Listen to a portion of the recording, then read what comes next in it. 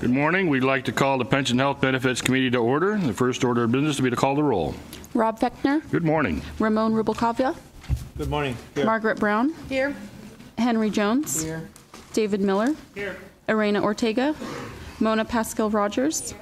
Theresa Taylor, Here. Karen Greene Ross for Betty Yee. Here. Thank you. And you please note for the record that uh, Mr. Perez, uh, Ms. Hollinger, and Mr. Slayton have joined the committee this morning. Item two is the approval of the 2006 or the April 16th Pension Health Committee timed agenda. Moved by Taylor, seconded by Miller. Any discussion on the motion? Seeing none, all in favor say aye. Aye. Opposed, no. Motion carries. Item three, executive report. Ms. Bailey Crimmins, Ms. Lum, please. Good morning, Mr. Chair, members of the committee. Donna Lum, CalPERS team member. I have one very brief update to share with you this morning, and it's related to the CalPERS Benefit Education event that we held in Eureka on March 22nd and 23rd. If you recall, last month I mentioned that this is one of our most remote Northern California locations, as the nearest regional office is here in Sacramento, and it's about a five to five and a half hour drive. I'm happy to share with you that once again we have broken another record for attendance at a CB. Our prior record in Eureka was about 426 attendees, and at this uh, CB we had nearly 600. Wow. So, again, being that far north, um, our members really, really do appreciate when we host events like this, and they really do come in force to get the information that they need. Um, we did notice that in the working sessions that we had, um, that these members were very engaged. They asked a lot of really good questions, and they also took a lot of time to visit the exhibit halls and to interact with our team members and the exhibitors that we have there as well. So again, I just wanted to share with you that that was a very successful event, um, and then just one very fun highlight uh, that the team members had, and they had a great sense of pride when this took place. We had a member um, who had about 30 years of 37 years of service, uh, and he had a lot of questions about planning for retirement. Our team members actually helped him to establish a MyCalPERS account while he was at the event. He happened to be there with his wife. Um, they assisted him with running a retirement estimate. They answered questions about beneficiary designations and power of attorneys and other really relevant information that our members need when they're making an important decision like retirement. And by the end of the day, he had made his decision along with his wife to retire, and they went on to assist him with his retirement application. So, this is just, again, an example of how our members truly do benefit from the resources that we put into these events. And in the case of Eureka being, again, as far north as they are, they really did appreciate our presence. Um, so, as a reminder um, to our members, those watching the webcast and the audience here, we do have our entire CB schedule. They uh, posted on CalPERS online, and so again, we encourage you to look at the schedule. And if you're in a location near one of the CBs within a reasonable traveling distance, we do encourage you to attend. There's a lot of information that you can gain, and um, these CBs are also targeted for members that are in their mid to early career as well as those that are nearing retirement. There's a lot of information that can be gleaned out of these sessions to help plan for retirement. So, Mr. Chair, that concludes my presentation, and I'm available to answer any questions. Thank you. I just want to comment that I was contacted here in this last month by a member who was in the hospital, been in the hospital for 30 days, and didn't look like they were going to get out anytime soon. Uh, so through communications, your staff was able to go from San Jose to the hospital in Santa Cruz to retire that person.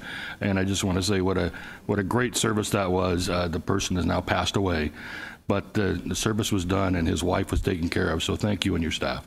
Thank you, and I'll go. I'll share that information Please with do. the team. Ms. Bailey Crimmins. Good morning, Mr. Chair and members of the committee. Liana Bailey Crimmins, CalPERS team member. On our agenda today, we have three action items before you. The first two are proposed revisions to the Public Employees Medical and Hospital Care Act, also known as PEMHCA. The first proposal would allow CalPERS to grant members an additional 30 days to request a CalPERS administrative review on an appeal. Currently, PEMHCA only allows these extension requests for an administrative hearing, and we believe having an additional 30 days for the review process will be a benefit to our members.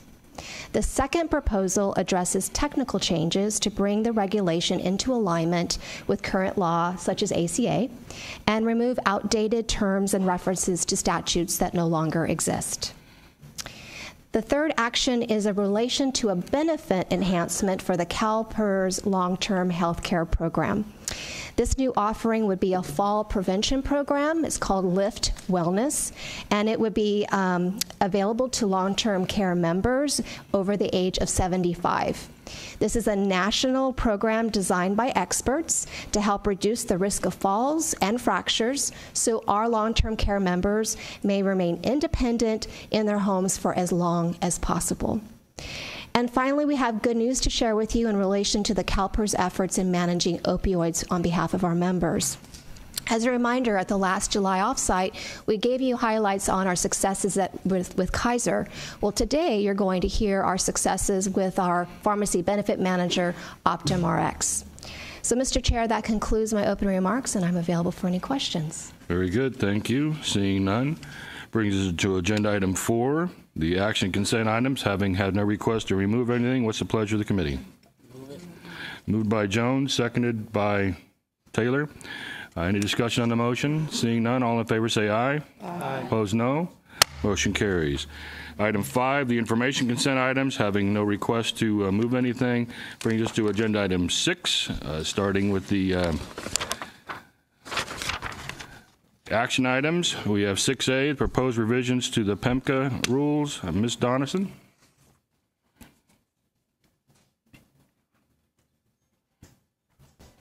Thank you, Mr. Chair. Members of the committee, Kathy Donneson, CalPERS team member. Agenda item 6A is a proposal to uh, make some technical revisions to the Public Employees Medical and Health Care Act, or PEMHCA. This agenda item is an action item in which we will recommend te- these technical changes that will enhance support of our PEALS program for our members. The technical change we request is meant to align two sections of one government code 599.51A. In the A section of the government code, that is the administrative review portion of a member's right to appeal. And within that 30 days, they can come to us after a determination has been made uh, to request um, an administrative review. If they go beyond 30 days in that request, um, we technically do not have the approval to grant any type of additional time. But Section E of the same government code states that they may request an administrative hearing uh, within writing within 30 days of the administrative review decision. So, in one hand, we have a 30 day under A for them to file the appeal, but not the ability to grant any extending time. But in E, in order to go to the next step, request an administrative hearing, we do have the opportunity under the government code to allow an exception process for more time. So, in summary, this agenda item aligns those two sections so that our members, if they have complicated cases or they miss their filing under A for review, they have an additional amount of time to uh, meet that review process and then move on and, uh, to the administrative hearing should they wish to do so. That's the essence of the technical change, and we do request approval. Are there any questions? Thank you. Ms. Brown? Uh, Thank you, Ms. Donneson. Um, Did this um, change come about as a result of sort of audit findings that said that we were extending some or we weren't following the Section A? Is that, is that correct?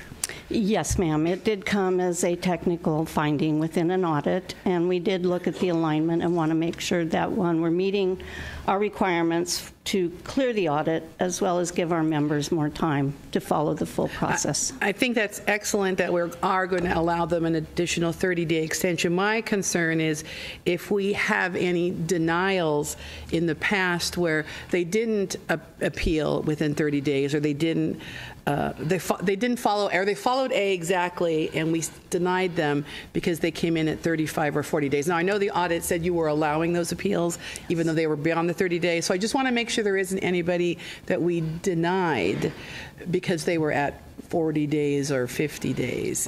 But they'll get a chance maybe to come back. I don't, I just. Um, I, uh, I believe that if there were, they're small, but I do have my uh, appeals manager here, and perhaps she could, could address with I just hope we would apply it maybe retroactively if it's not a big, Let's go back.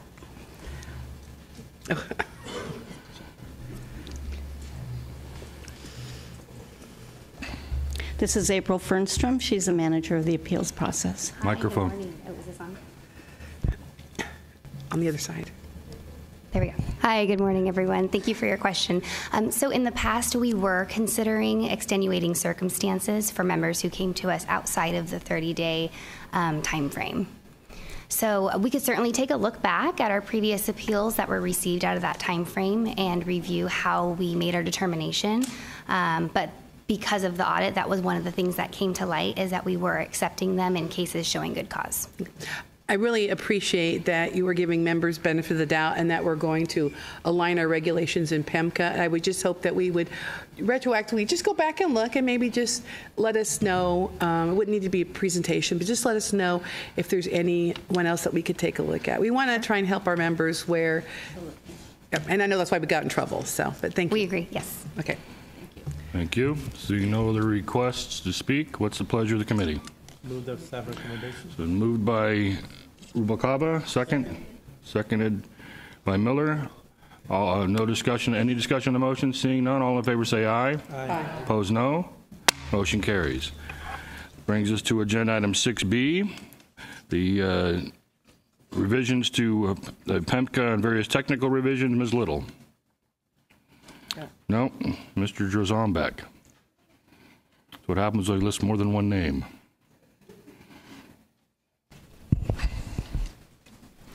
Hi, good morning, committee chair, committee members. Rob Jarzombek, CalPERS team member. I'm presenting agenda item 6B, which is an action item, requesting your approval to pursue technical and non-substantive changes to regulations affecting the CalPERS Health Benefits Program. These changes have been identified as outdated for a variety of reasons, and they fall into three basic categories. The first category is revisions. We're proposing changes or revisions to subsections that are outdated. The second category is removals. We recommend removing or eliminating sections and references that are no longer applicable. And the last category is relettering. So, based on removing some sections, subsequent sections need to simply be relettered. So, for the first category, the sections we propose revising, here are a couple of examples of what they contain. Subdivision B of Section 599.501 contains outdated terminology that is no longer used to describe individuals with a disability. The term handicapped is no longer used when describing a person who is either blind, deaf, or disabled. In subdivision G of that same section, we propose to update the timeline to submit recertification documents for disabled dependents. This change will make the recertification process, the recertification timeframe, consistent with those for submitting documents for parent-child relationships, as well as dependent eligibility verification. So this change will reduce complexity in our program by using a standard timeframe for all recertification processes. As far as the second category, removing sections, we propose to delete a subdivision that gives the appearance that certain annuitants are ineligible for CalPERS health benefits. For example, subdivision C of 599.501 states that a retiree whose monthly retirement allowance is insufficient to pay the premium of the lowest cost health plan is ineligible for CalPERS health benefits. This provision was removed with the development of the Complementary Annuitant Premium Program, or the CAP program. The CAP program allows retired members to continue their health coverage by paying CalPERS the balance of the premium owed, regardless of which health plan they choose. Similarly, we propose to delete inaccurate information in subdivision E of this same section, as it too gives the appearance that certain annuitants are ineligible for CalPERS health benefits. This regulation reflects that members who are not enrolled in a CalPERS health plan at the time of separation from employment are not eligible for CalPERS health benefits in retirement.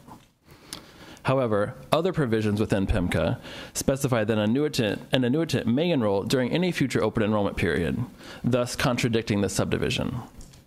We propose deleting this language. And finally, the third category, relettering, uh, we propose to reletter, um, reletter sections impacted by the removal of code sections and update various cross references found throughout the regulations. The majority of the changes we're actually pursuing fall into this category. There are numerous benefits to pursuing these changes. These changes will allow CalPERS to better maintain accuracy in our regulations. It'll minimize confusion amongst members, employers, as well as CalPERS team members. It addresses an observation made last year through an internal audit, and it eliminates outdated statutory requirements.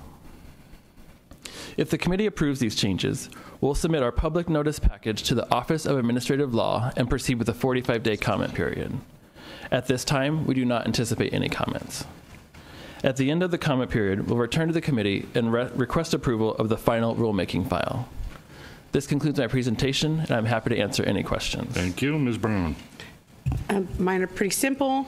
Um, On the regulation that says an annuitant uh, may enroll if not enrolled, can you tell me what that regulation section is? Yep. Oh, it's not that easy, okay. Um, off the top of my head, it is may enroll for that. It's 599501 subdivision E. 599501 subdivision E. Yes. Okay. And are we, is the change that they may enroll if they're currently not enrolled at any open enrollment time? Yes, and they That can- is the change, so they may, They may, and they also may enroll during any qualifying event. like marriage, Correct. birth. Correct. So it's op- it's clarifying this one that said that they aren't um, and falls in line with the rest that say that they are, and has been our practice. Great, thank you. Thank you. I have, uh, let's see, anybody else on the board? Mr. Jones? Uh, Thank you, Mr. Chair. Move approval. Second. All right, it's been moved by Jones, seconded by Brown. Mr. Rubalcava? Uh, I had a question, but it- it might not, I don't want to delay the enactment of. Ask, ask your question. Just want to make sure, um, one, I- in general, in totality, all these are good changes for the members, and I support them, of course. But just want a little history on, um, on 599.0502 subdivision C. It seems to ask, like, for um, permission from the carrier for, is it like, is it outdated pre-existing conditions? Is that what that is? Yes. So this is a this That's is illegal now, anyway. correct, and it changed with um, HIPAA coming to an eff- going into effect in 1998, and then also with the ACA. So this is again, this is just clean up, um, like cleaning up the regulations so they reflect all the current law. No, I, I understand it's cleaned up. I just want to make sure people understand that this is definitely uh, advantageous for the members. Yes. Very good. And I support Mr. Jones, uh, President Jones' uh, motion. Thank you. Seeing no other requests from the board, we do have re- one request from the audience. J.J. Jelincic, please come down to uh, my left. You'll have up to three minutes. Please state your name for the record.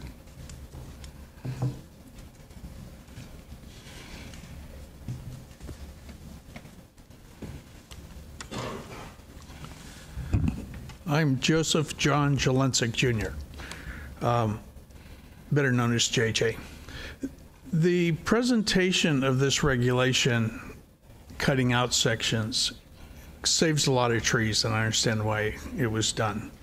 However, one of the problems that gets missed when you do that is currently 559501A refers to both B and C, and this proposal is to eliminate C and renumber it so it's now a different C.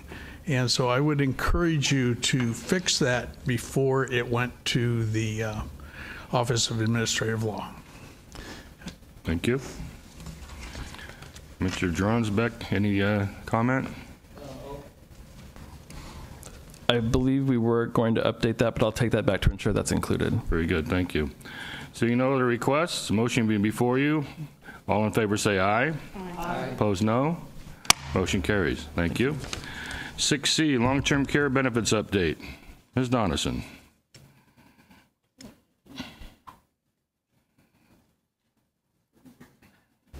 Mr. Chair, members of the committee, this is another action item the team is bringing forward. Uh, This agenda item discusses a long-term care benefit change designed to reduce claims associated with falls, gait anomalies, and imbalance for our members in the long-term care program.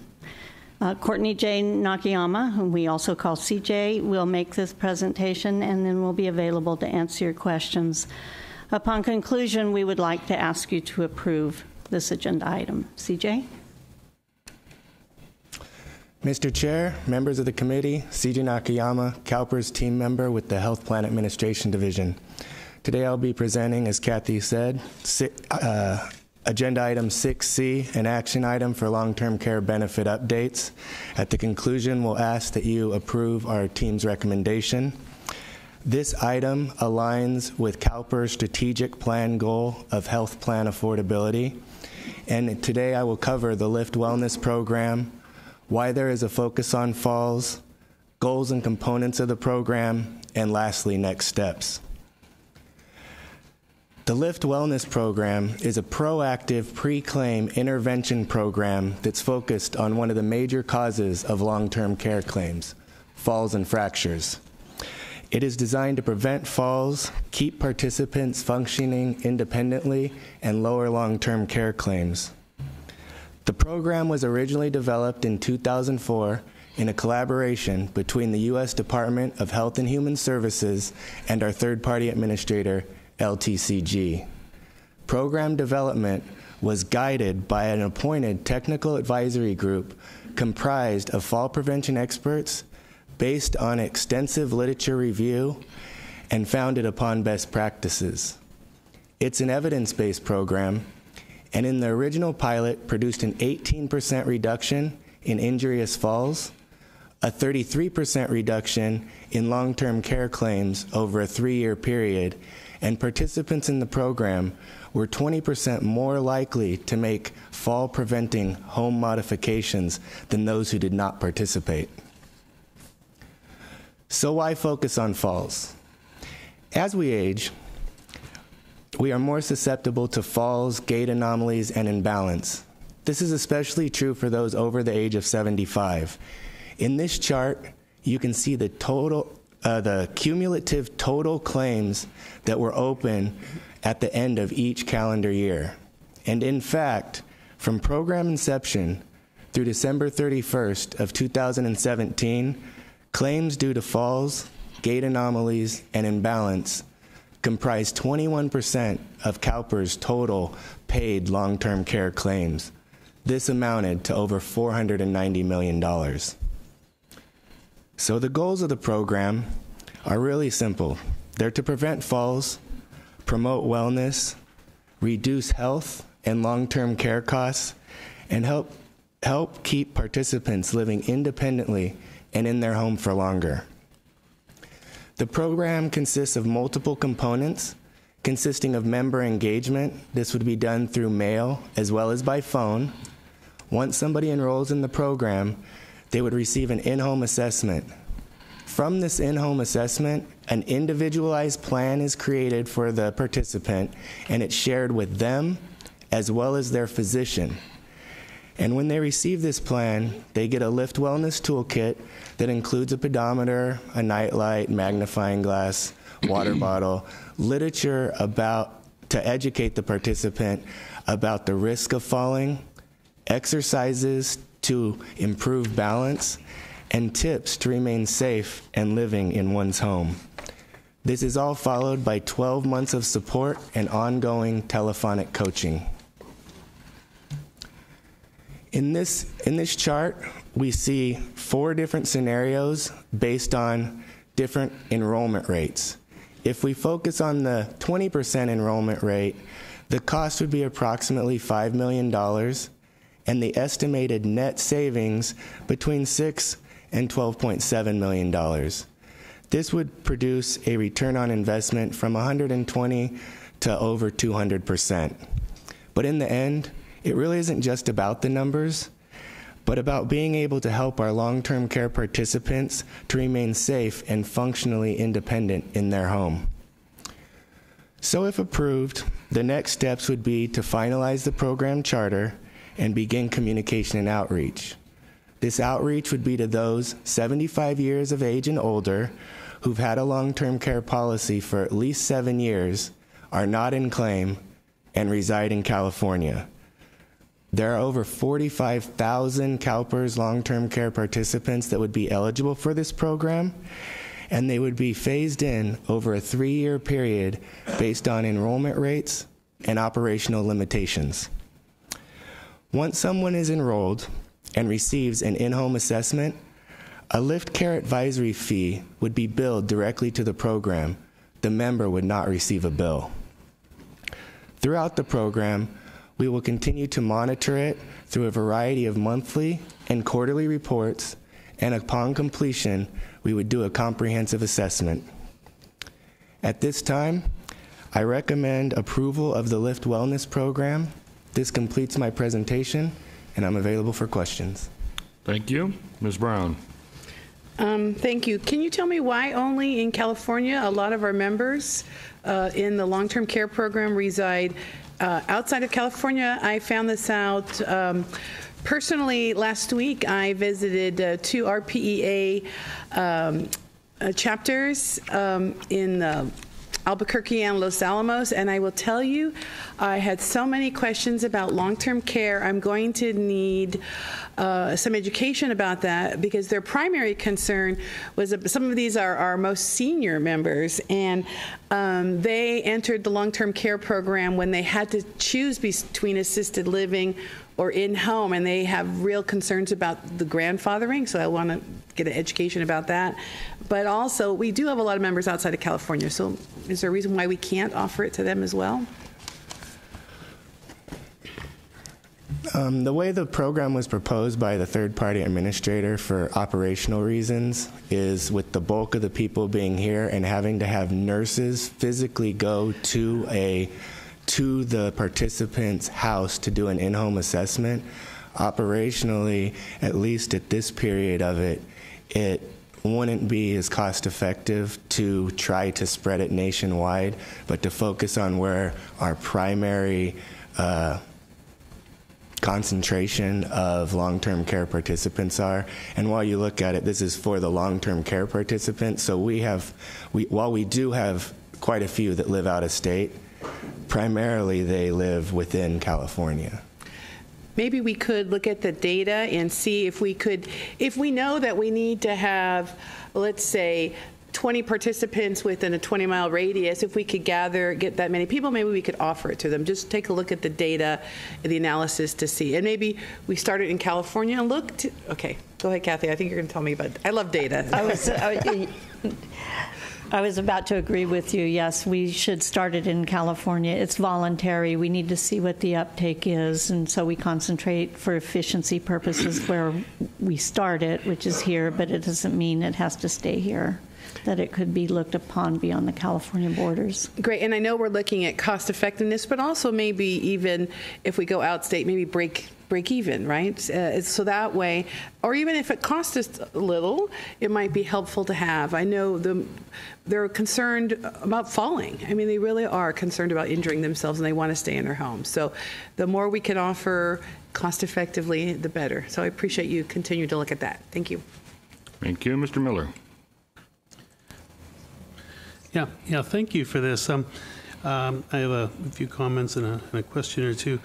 Um, I'm I'm very very engaged with the long-term care community, uh, and the I think you emphasized, and I can't understate the, the importance of preventing falls, uh, both in the home but also in institutional settings, and not only because of the, the impact of falls, no pun intended, on, on the person falling, but they're also a huge contributor to injuries, lost time, disability, et cetera, for healthcare workers and family members and everyone, both at home and institutional. Uh, uh, falls are a huge, huge problem, and, and I applaud you for recognizing that and looking for what we can do. Um, the in the industry, there's also a couple kind of real, there's a lot of potential for technological disruption, both active and passive technologies for addressing falls, potential for falls, um, identifying who is more at risk than who, and kind of tracking the change over the over time, as partly as a way to engage patients, potential patients, but partly as a way to focus resources. And so I, I hope as as this develops, certainly in the industry, that, that we're really looking at those trends of new approaches to the whole subject of falls. Uh, for the last 50 years or so, much of it was just focused on as behavioral and you know uh, lift machines and belts and all those type of things but it's much more moving into to high tech and so th- that leads to my question which is uh, in looking at this was this just something that uh, a potential provider came to us? Did we reach out? Did, were there alternatives that we looked at and put this one forward? Um, just kind of curious about the process by which this this came to us and, and i am very supportive of it. Yeah, our, our third party administrator, LTCG, had recently acquired Life Plans Inc., who helped develop this program, who was initially part of Long Term Care Group, but then split apart um, partway when they were bought by Univita. But they had developed this program back in 2004 and ran a pilot from 2008 to 2012. Um, during one of our quarterly uh, business reviews where we talk about you know industry standards and things moving forward they brought this program um, in front of us and the numbers what it focused on and helping our participants to remain functionally independent focusing like you said on one of the major causes falls and fractures um, we thought it was a great program, something that would benefit not only our members, but our long term care program as well. And that's how it came about. Thank you. Ms. Greene Ross. Um, This sounds like a very helpful program for reducing the claims, the cost of claims. Um, Just want to make sure that it's voluntary only and that there's never going to be any penalty for members who were reached out to participate in California, that they would ever be denied claims because they didn't participate. No, this is a 100% voluntary program. There's no penalty. Um, even if somebody enrolls in the program, there's no cost to them either. So no, there's no adverse um, action if somebody does not choose to participate. Only the benefits of getting the education and the ongoing support if they choose to. Have you, hope you have that in good legal writing. Thank you. Thank you. So you know the request. I do have one request from the audience, Tim Behrens. Uh, Please come forward. You have up to three minutes.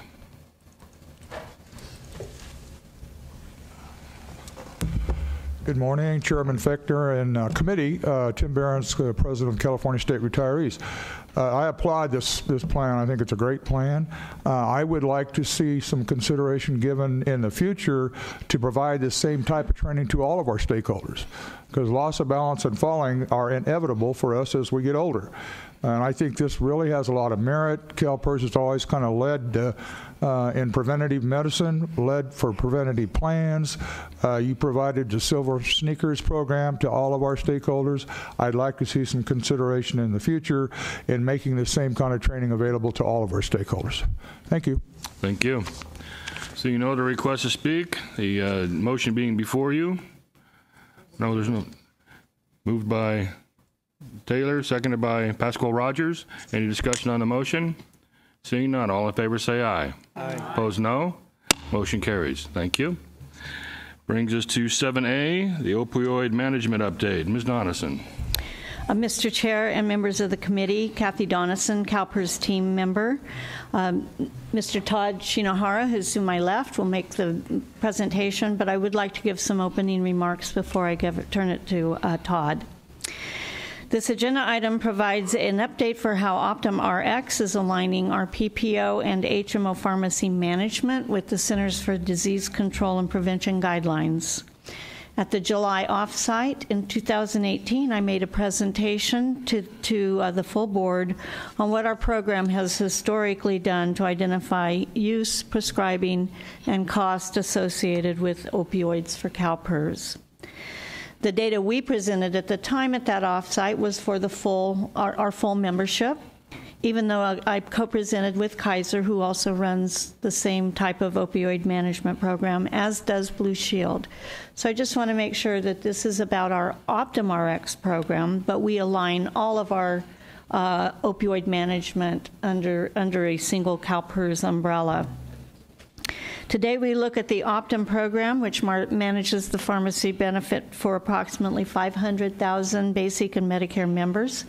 And as I, as I said, Todd Shinohara, who is a new pharmacist with CalPERS, having joined us about six months ago, uh, is going to make this presentation, and then we will answer questions for you. Todd?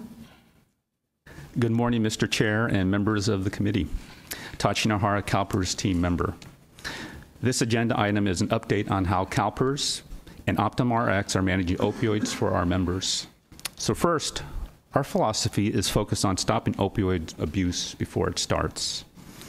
At the same time, supporting members and their family members who may be battling dependency issues as well as in recovery.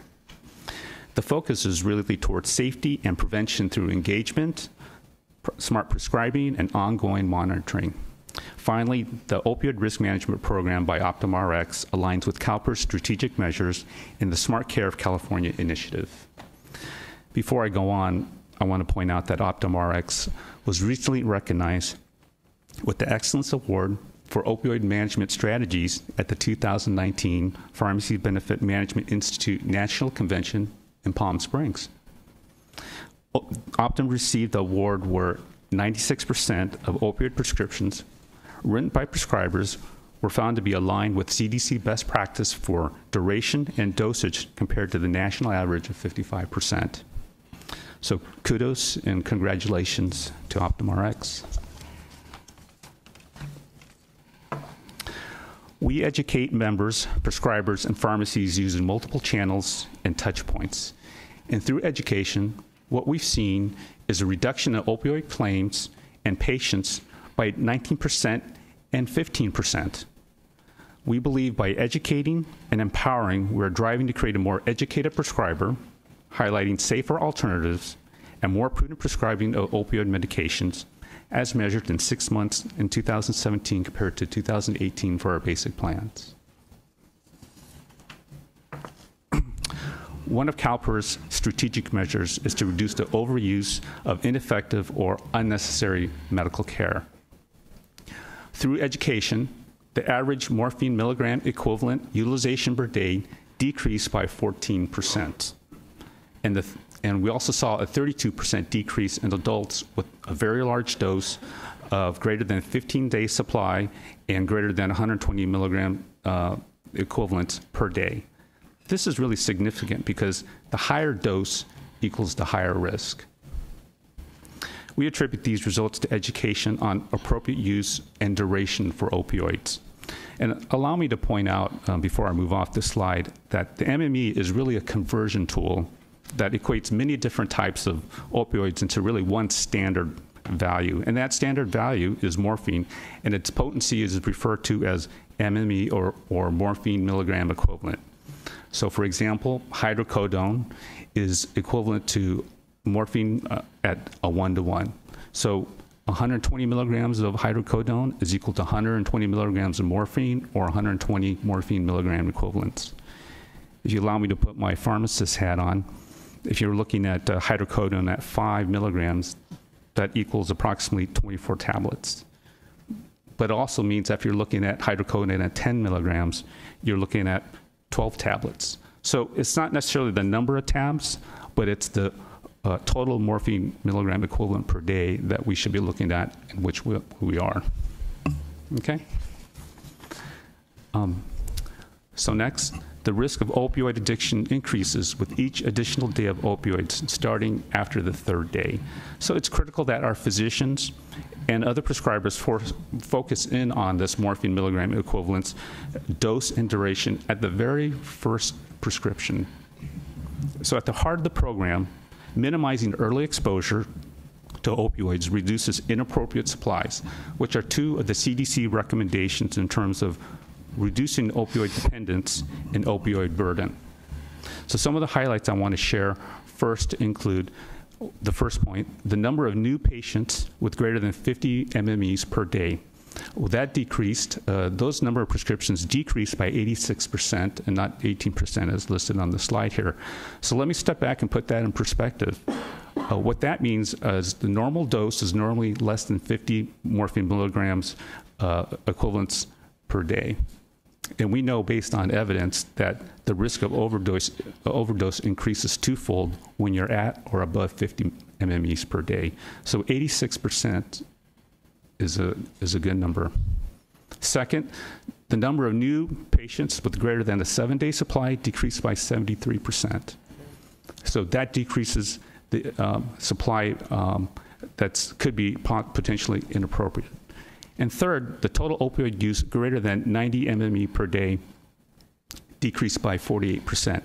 90 MME per day is, is a high dose. So, as you know, the higher the dose, that higher the risk. So, again, minimizing early exposure and reducing inappropriate supplies are at the heart of the program, as well as the emphasis toward that patient physician relationship. Recognizing the high rate of relapse with opioid abuse, our focus further helps build more and effective sustainable recovery by aggressively promoting practice guidelines and interventions. Our members, physicians, and other prescribers are provided unrestricted access to drugs like methadone, naloxone, buprenorphine, which are used to wean patients from op- opioids and avoid overdose and relapse. D- these drugs in combination with counseling and behavioral therapies, provide a whole patient approach to treatment of substance abuse disorder. So, looking at our first year results, indicate that our members and prescribers have been appropriately taken advantage of these very important programs. Safety initiatives two recent safety initiatives have been really uh, implemented to educate members and to reduce the inappropriate supply of opioids at the home. First, Optum RX home delivery pharmacy is using a warning label located on the underside of the vial cap. And this is in addition to all the warning labels that are seen on the outside of the vial. And second, to dispose of unused or outdated prescription medications, Optum RX is providing a medication disposal option the Deterra kit. The kit contains really water soluble pods containing activated carbon, a three step process that includes placing the drugs into the, the pouch, adding warm water, closing the pouch, renders the um, medication that you put in there uh, unretrievable and inert, and it doesn't harm the environment. And finally, Future enhancements or next steps that we're looking at really include follow up on rejected claims, uh, such as methadone, naloxone, buprenorphine that we discussed earlier. Secondly, identify members who are at higher risk for misuse.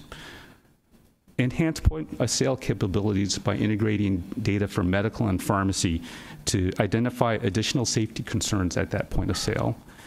And finally, further notification of, to our prescribers um, and education.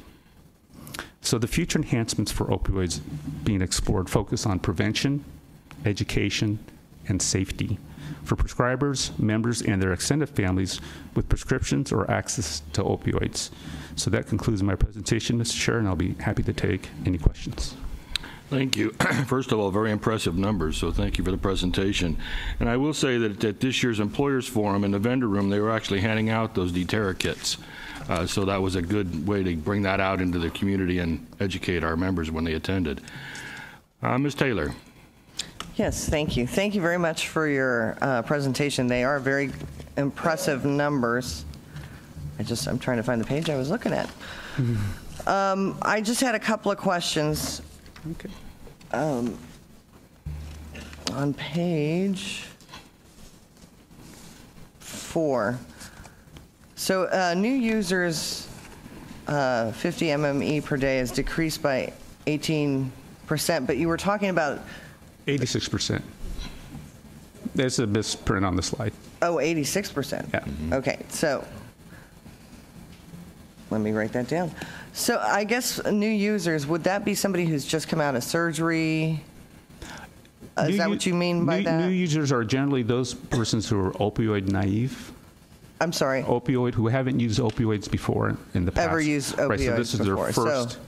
Would, first uh, for whatever reason, they were prescribed, and we're, we're, with, through this program, we're working to get them down, well, to introduce them to less than 50 milligrams as opposed to, I assume that used to be different, that they used to introduce new patients to a higher, higher milligrams? So uh, generally, the um, the normal dosing um, pers- uh, for opioids are generally range between 20 MME per day to 50, um, and then anything above 50 has that increased higher risk. So.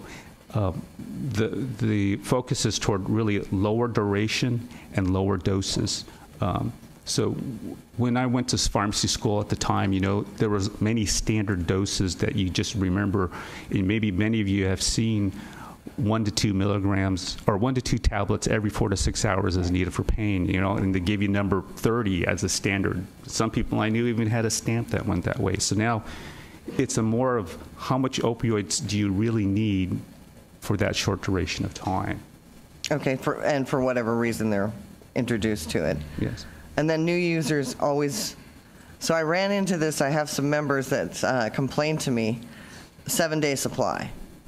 As, uh, so say you come out of surgery, and, and that is apparently what the new, uh, everybody I've talked to that have- have come to me said they, they initially get a seven-day prescription, and then they have to go back and ask for more, depending on, you know, the type of surgery and how much pain they're in.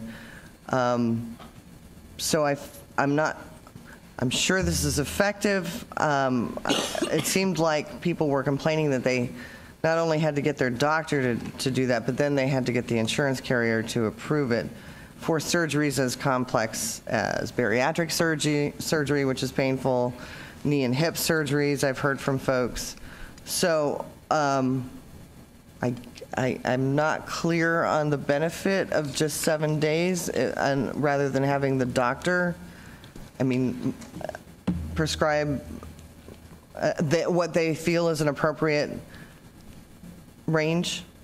So, uh, what, what's the, what is, what are you trying to accomplish by just a seven day after a surgery or something like? I get like if you're getting a tooth removed, totally get that, but. seven days, uh, it- really getting below seven days is really should be the goal. And then when you have complex surgeries that go beyond seven days, then you know that that really dawns upon the experience of that provider with that patient. But that's not what they're to- running into. They're running into, because of this program, I- probably, Uh-huh. they're running, because these are my employees, right, state workers. So they're running into being told, okay, well, hold on. So they've already run out. Hold on, we got to get uh, permission from the insurance carrier. So here they are, seven days out of a bariatric surgery, knee surgery, whatever. And these are uh, having to wait a couple of days in a lot of pain to get approval um, and, and feeling kind of helpless, et cetera. So I, I- I get the goal for minor pain incidents. I'm, I'm a little concerned that we're kind of throwing the baby out with the bath, bathwater from what I'm hearing from my members. So Okay. So as you, this committee, and for the new members know, we've been working on looking at opioids since the mid-2000s. Right. And we do have concern that's, that what was a very generous prescribing program may have gone to the other extreme? the other extreme. And so one, of- a couple of things that we want as a CalPERS team to continue to look at, first of all, is there proper pain management? And that really is between the patient and the physician.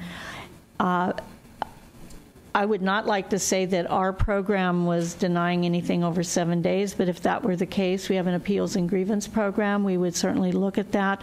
We would also look at um, you know, case management programs, which is part of appeals and grievances. But also, we're bringing in two, a, a chief medical officer in May, as well as a second medical consultant, and really this, this is between the patient and their physicians, and the physicians themselves are um, having to deal with these new CDC guidelines and what is appropriate prescribing. What is real pain management for um, for cancer, for end of life, for chronic pain that may have a source that only the physician really realizes what it is.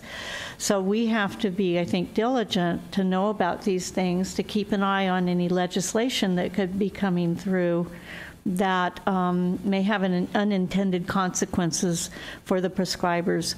These are controlled substances. They're called Schedule II, and therefore it's it's always been controlled. But we just want to make sure over time, as we bring in our physicians, as we work with healthcare services and Covered California uh, under Smart Care California, as uh, the California Healthcare Foundation is also looking at this. So we just are going to have to we hear about these things, use our appeals and grievances, use our ability to, for case management with our plans, and follow legislation that may have unintended consequences. Right, and I appreciate that. And I I think that you and I are kind of saying the same thing, that we don't want to have our patients or our members coming out of surgery and have, my main thing is I don't, I think what I'm hearing is not necessarily that, the insurance carrier is denying it, but that the, it's taking time. And if they don't know ahead of time, which a lot of our folks don't, that you, okay, you got seven days worth, and if their doctor doesn't tell them, and you just came out of whatever surgery and you know you've got a three month or six week recovery in pain, they don't know that they would have to, ahead of time, order, ask their doctor to get this approved. So then they're running out of the pain medication. And I think that's what we're running into there. And then you, you address my other concern, which is long term chronic pain that people are in, whether it's cancer or whether it's just chronic pain due to whatever else they, they have, that we seem to want to get everybody off opioids, but then what do you do with these people that are in long term chronic pain? And Liana and I have talked about back pain, and, and, and it's real and doesn't go away, and it gets worse as you get older. But um, I, I think that we need to be cognizant of that, and I understand that. Led, I would hope that you know our doctors are the ones that get to make these calls, and not legislators or insurance companies, and that's where I'm running into some concerns with this. Ms. Taylor, um, completely agree. And I, what we can commit to is one, looking at the data. I don't want to wait for a member to have to appeal and wait for it. So we can dive in to see if we're seeing that on our side as well, because we have the data that's available to us. Also, education. Um, there's more that if we could be doing that to make sure that members are um, knowing what they have at the time of, the, of getting the prescription, um, and then working with their, as, as you heard from um, Dr. Donneson, making sure that they work with their doctors if they think that that's going to be seven, maybe 10, 15 days, that they're not sitting on that seventh day and now without any medication. Because at the end of the day, we want to make sure our members have the medication that they need. So we can commit to you of looking at the data, see if we're seeing that on our side, and also making sure that we can enhance uh, communication education through OptumRx and our providers. And I do appreciate, and I really appreciate the fact that we've re- reduced um, the overuse and misuse of o- opioids. I just, I think it's time for us to look at the other side because no matter what we do as human beings, it seems like we either go one way or the other too far. So I do appreciate it, and thank you very much. Thank you, Mr. Jones. Yeah, thank you, Mr. Chair. Um, Also, I want to congratulate you on the prevention and educational programs that have been successful, as the data suggests. Um, I got a call from a retiree, and this question goes to the disposal process. A retiree uh, contacted me and indicated that he'd received a document that one of the steps in the disposal process was putting it in the regular trash. So is that part of something we sent out, or what's going on there? And I asked him, to, by the way, to send the document so that you could see exactly what he's referring to. So our, our best practice is really twofold. One is um, using the uh, pharmacies or public agencies, and they have uh, disposal stations there, and you can look that up through the California Board of Pharmacy, or you can look at certain websites. And secondly is using the Deterra kit, as I mentioned here before, uh, where you stick the medication into the bag, add the warm water, and close it up, and it renders the medication uh, inert and, and inactive. Um, So- so there are other um, things that are published at the CDC as well as California uh, Hazardous Waste that do mention that you can use other types of disposals, but I think the best or better practice is really using these uh, these uh, agencies that are at at our disposal, specifically the pharmacies. So, it- so it does say put it in trash, but after you take, go through another step, is that what you're saying? The kits, the kits themselves, after they're done, you can stick those uh, into the trash because Okay, well, they that's- are. Uh, That's the part that perhaps Yeah. is missing. Oh, Yeah. I see. I see. Because he, he was telling me that why, why are we putting this in the trash? Somebody could get it, you know? So I, I will, when he, when he re- provides me with the information, you'll be able to respond to him and tell him what the Now we could tell them that the, the kit has soluble activated carbon and makes it inert makes and sense. unretrievable. Okay, thank you. Thank you, Mr. Miller. Yeah, uh, thank you, and, and um, welcome, Mr. Shinohara. Um, I- Two, two kind of questions. One, I wanted to kind of follow on what Ms. Taylor was talking about. One of the things that that I've heard from people and seen firsthand is this business of depending on what provider you, you're dealing with, uh, their ability to, to basically re-up those prescriptions it can be very different experience mm-hmm. from provider to provider, depending on whether you have a designated primary care physician or not, and whether they happen to be there or on the schedule when you or your pharmacy calls to get the approval, and then who's covering their file or on call when they're not. It can be a real hassle, and it can take more than a day, and on weekends, it's all up for grabs. Uh, So that's a concern. The other thing that really varies from provider to provider, in my experience, is their, I guess I would call it approach or scope of practice when it comes to pain medicine. And a lot of them, it's not pain medicine, it's just pain management. And the limit of their practice before they will refer you, if you can even get a referral to an actual pain medication and pain medicine practice, is eh, cognitive behavioral therapy, acupressure, acupuncture, yoga, um, happy thoughts, and, and pharmaceuticals. And if you need something beyond that, if you have a chronic pain condition that doesn't have any obvious, we can see it in a test, we can see it on a radiograph, we can see it on an MRI. If it's based on, you know, Rome Convention syndromes, uh, symptoms or something, I mean, you're, you're fighting to get a referral that then is going to cost you a bunch of money. And so I worry that um, with the focus on opioids, which is well placed, that we don't, again, throw the baby out with the bathwater. For some of our members who really need these medications, that's, it's the only thing that's working for them, and that we don't throw up barriers, and ultimately, maybe there's some way we can really identify them and have some kind of different or customized protocols for them. But uh, that's my worry there.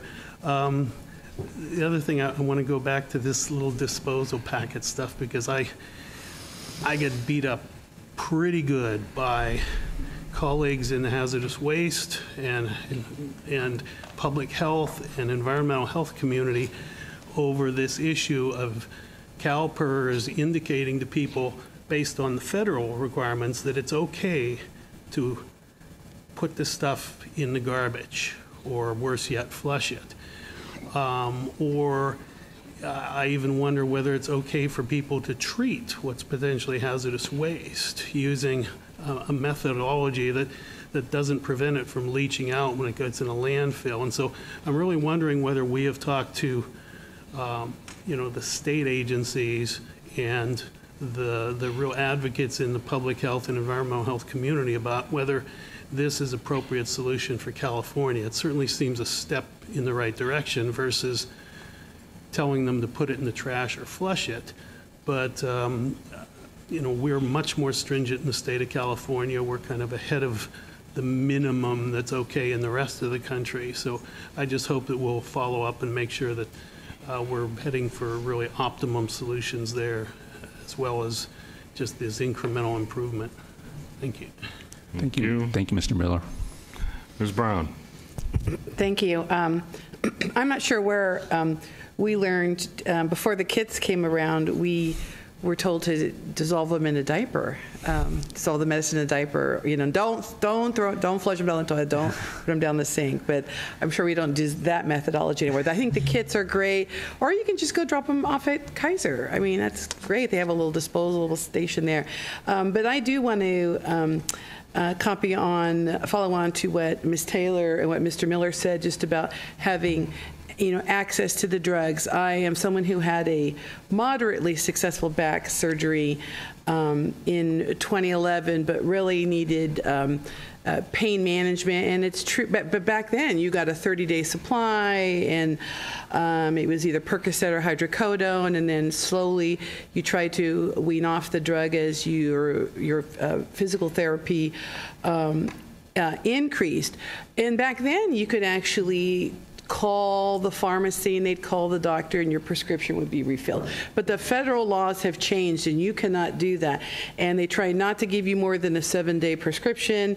And you've got to be able to get in to see your doctor. They've got to reevaluate you or they're going to send you to a pain management doctor who wants to assess how much pain you're in in order to get um, a refill. And I, I do want to say that what um, CalPERS is doing for their members is is wonderful. I, it turns out I was only I was on less than 10 MME a day uh, for my um, chronic back pain, and I was seeing a pain management specialist every 60 days. But after hearing the doctor from Kaiser last July, I I literally thought I need to get off this, you know. And it was very little, but still. And so I'm very proud to say it took me several months but I don't uh, take anymore. Although I am in pain, but I don't have to take anymore, and it's I feel much better, and I appreciate everything we do. But I think it's just educating our members that you can't just call the pharmacist and get a refill, and that if you're on it more than seven days, which is the standard, you're going to have to go back and maybe see either your same doctor or a pain management doctor because there are these certain time frames that they want you on the, the opioids, and then you need to come come down and take something weaker, or you need to go back to your doctor and be reassessed. And so I think it's wonderful what you're doing, and I think we're really ultimately saving lives by these programs. And I do appreciate you going back and looking at the data to see how many prescriptions, refill prescriptions are being denied and seeing if we hmm. can't help those members as well. It's a, it's a balance, and the pendulum does swing, right? Over too much, too little, and maybe eventually we'll get it just right. Thank you. Thank you. Mr. Perez. When I was a uh, young police officer, I was a motorcycle officer, and I wasn't very good. I crashed a lot. So I've had uh, I've had six back surgeries, and, and what I what I learned about opiates is it kind of tricks your brain into saying, "Hey, you need more." Um, I, I agree with, with what everyone's saying in regards to the balance. Um, yes, we're going to save life, but the life quality of life for the people you guys are touching with is is immense. Um, it was the worst part of my life. Worst part of even the surgeries themselves was the um, the detox, and sometimes we need to give our as leaders we need to give our members what they need and not what they want. Uh, so I applaud you for for making the tough decisions. Thank you. Thank you, Ms. Taylor. Sorry, and I forgot to ask the question, one of the questions I had on page five, which was, as you were going through, you were talking about the number of rescue therapy prescriptions. I don't know, I didn't catch what that was. I'm sorry. It's the um, methadone. naloxone. Oh, you mean the agents that we use um, for treatment, the methadone, naloxone, buprenorphine? Number of rescue therapy. Yeah, So that's what agents- that is. Those are agents that we use for, uh, uh, in the program. Not all of them are for rescue. Really, naloxone is the drug that we use for uh, rescue medications. What's the difference? The I'm difference sorry. of the other two agents, methadone and buprenorphine, really uh, help with some of the chemical imbalances and and uh, and cravings that occur uh, uh, when you withdraw from opioid y- and you use these other So- ag- agents. Okay, so the number of rescue therapy prescriptions increased by 99%. Oh, we lost you there. Yeah, so re- so rescue medications are referring to the n- uh, naloxone portion. Okay, which is the The re- right, overdose. The overdose thing. Right. Yeah. Okay, okay. I just want, and then the medication-assisted treatment is the other stuff. Those are the other agents. Okay, that's where I, I didn't understand Yeah. that. So that's, And just a clarification, the number increasing is a good thing because if someone does have um, an overdose, this is saving lives.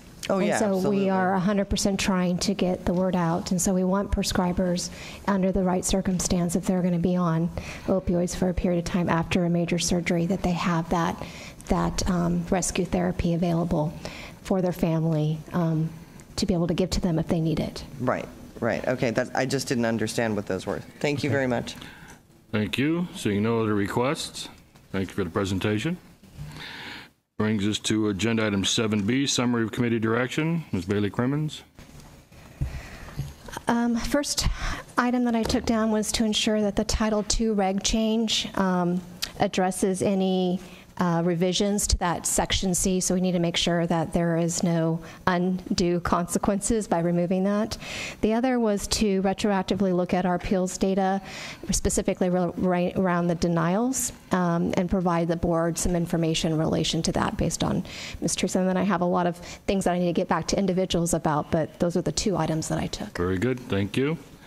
Item 7C, public comment. I have one request to speak from the public. Ms. Nadine Franklin.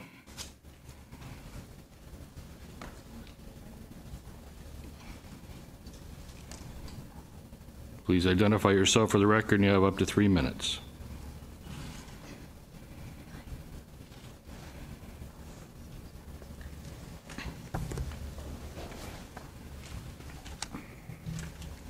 Um, Okay. Is this on? It's on. Right, okay.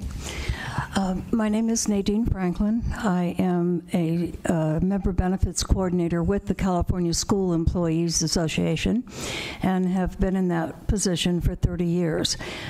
Uh, During that period of time, I have worked very closely with the CalPERS staff, and I have want to publicly commend them for everything that they have done over those years.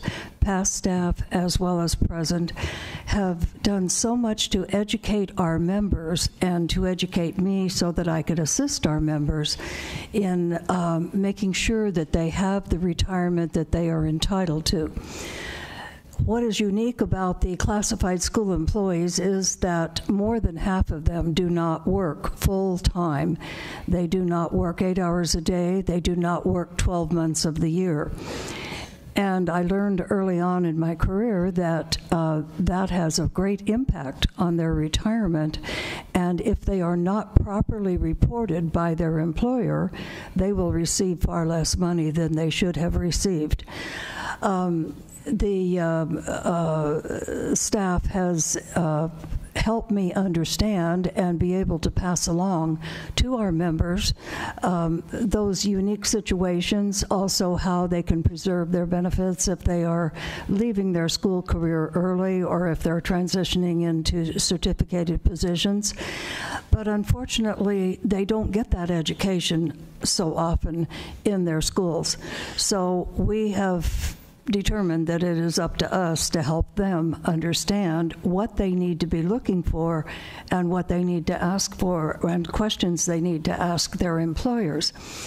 Um, we have had many, many situations where people have not been reported correctly, and uh, because we are able to find that out, we can then let the CalPERS staff know um, of those situations, and CalPERS takes it from there and makes sure that it's corrected.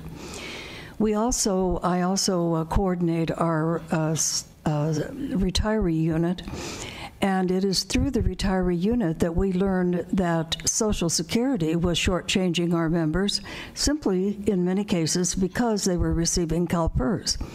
Um, they somehow didn't quite understand the difference between classified employees and teachers who do not contribute to Social Security, but in most cases, our classified employees do.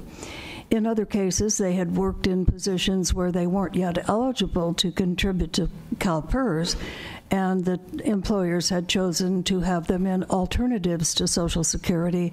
So a portion of what, and then they purchase service credit from CalPERS once they become a CalPERS member. So, uh, in some cases, they are uh, legitimately subject to uh, reduction under windfall elimination or government pension offset, but not on their whole pension. And that was also happening to our members. So, with the assistance of CalPERS staff, uh, when we have those situations, which are many, usually one or two a week, at least that we find that have been misreported or uh, have been reduced when they shouldn't have been. Uh, CalPERS has always been so responsive and um, has set up special people for us to contact to get these matters taken care of. Um, through the years, we have had uh, pre retirement seminars for school members only. Um, so that they could understand those unique situations that uh, impact them and so they could better understand how their retirement works.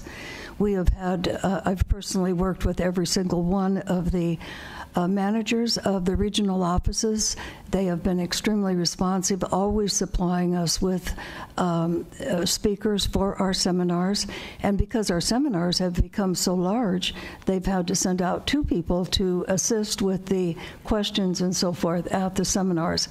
Uh, just to give you an example, this year, since October, we have completed 26 seminars. Every one of those are on Saturdays. We arrange for those, and the uh, CalPERS staff gives up their time to come out to our Saturday seminars. They are attended from anywhere from 100 to 250, 300 people. And uh, the uh, largest attendance ever was this year in January in Modesto. 510 people came out to our school seminar. So the staff members have have just been so incredibly responsive, incredibly helpful, and so very much appreciated by myself, my colleague Deb Jackins, who is also working uh, to help uh, educate our members, and we in fact have two former committee uh, chair chairs and the current committee chair in the audience today who have continued to work with our members and uh, help educate them and work closely with the staff. And I just wanted to be sure that the board knows how much they do for us and how much we appreciate that. So we thank you very much. Thank you. I, I let Ms. Franklin go a little longer on the time. First of all, uh, between her active status and uh, and the staff side of CSEA, she's been with CSA for 55 years, and she's retiring at the end of this month. So this was her chance to come up and say her thanks to the staff. So thank you, Nadine. Thanks for all your hard work. Ms. Norm.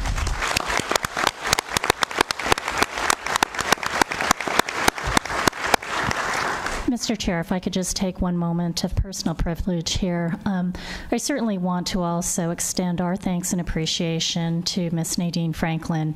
She has been an extraordinary stakeholder that has really provided a lot of insights and clarity to the customer service teams and the uniqueness of some of the benefits and the education that's been needed by the schools and their members.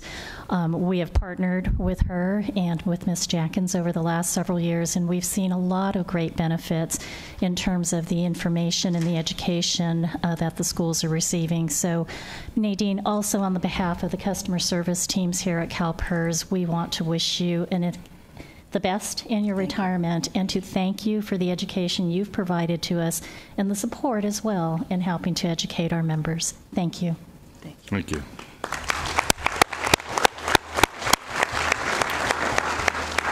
Mr. Jones. Yeah, thank you, uh, Mr. Chair. Uh, Ms. Franklin, I just uh, want to also acknowledge uh, the services Just that a second, Henry. Nadine? Henry's talking to you.